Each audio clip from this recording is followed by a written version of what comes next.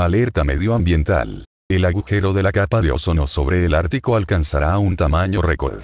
Actualidad y noticias del mundo. Climatólogos advierten de que la radiación ultravioleta aumentará considerablemente en las regiones del norte debido al gran tamaño que alcanzará el agujero en la capa de ozono sobre el Ártico. La concentración de emisiones de humo y demás elementos contaminantes en la atmósfera, sumada al duro invierno, ha generado un enorme agujero en la capa de ozono terrestre sobre el Ártico.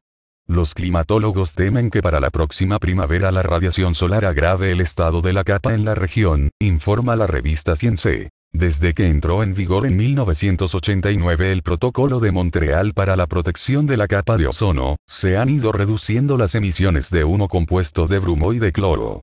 Sin embargo, la presencia de estos compuestos químicos desaparece lentamente de la atmósfera, aunque no lo suficientemente rápido como para que su efecto deje de actuar, por lo que tras cada invierno el agujero sobre la Antártida se va expandiendo más y más. Este fenómeno no amenazaba antes a la región ártica, pero este último invierno 2015-2016 ha sido tan frío que ha propiciado la concentración de ácidos nítricos, principalmente de origen natural, y la formación de nubes de vivos y brillantes colores en latitudes septentrionales. Nubes que pueden catalizar reacciones químicas compuestas por cloro. Leer más. La predicción más increíble de Einstein es cierta. Las ondas gravitacionales existen.